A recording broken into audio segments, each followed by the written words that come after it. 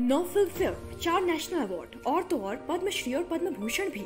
बॉलीवुड के mister perfectionist superstar Aamir Khan के success की लिस्ट कुछ ज़्यादा ही लंबी है, और उतने ही इंटरेस्टिंग है उनसे जुड़े वो किस्से, जो आज उनके सतानवे बर्थडे पर हम आपको सुनाने जा रहे हैं। साल 1988 में आई फ़िल्म कयामत से कयामत तक से बतौर लीड एक्टर बॉलीवुड में कदम रखने वाले आमिर खान के बारे में ये बात बहुत कम लोग जानते हैं कि उन्हें भारत के बाद सबसे ज़्यादा चीन में पसंद किया जाता है। जी हाँ दोस्तों, आमिर की दंगल ने चीन में करीब 1400 करोड़ और सीक्रेट सुपरस्टार ने 800 करोड़ से ज़्यादा का बिज़नेस किया।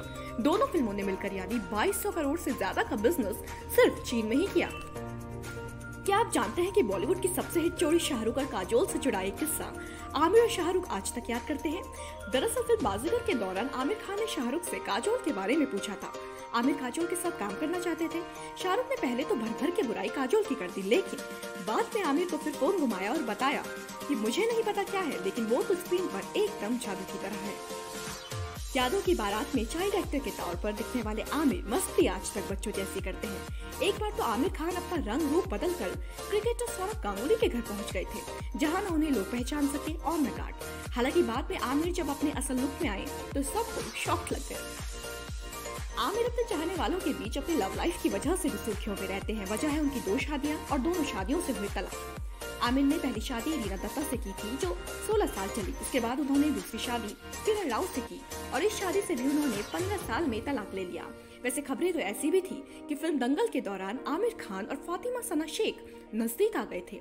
आमिर और फातिमा सना शेख की शादी की अफवाह भी उड़ी थी, जो बाद में झूठ साबित हुई।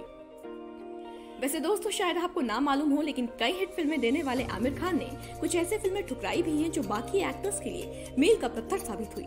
शाहरुख खान की फ़िल्म डर और दिल वाले दुल्हनिया ले जाएँगे।